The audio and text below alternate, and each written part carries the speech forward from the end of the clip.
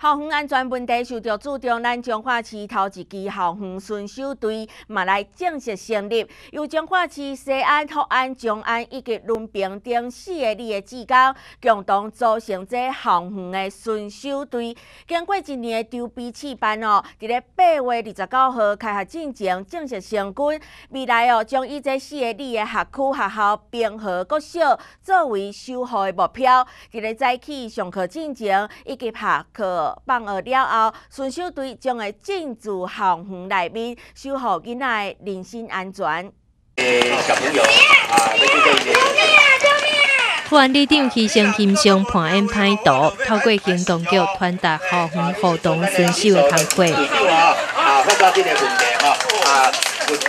都因为滨河国小是一个开放式的校园，伫咧透早甲下晡下课以后，拢有真侪民众伫在校园运动。为着保护囡仔伫咧校园内底人身安全，一年前彰化市公所先甲西安社区配合，由西安社区巡守队进驻校园。一年以后，再搁加上福安、中安、甲轮平等四个里，共同组成校园活动巡守队。那么，互动巡守队呢？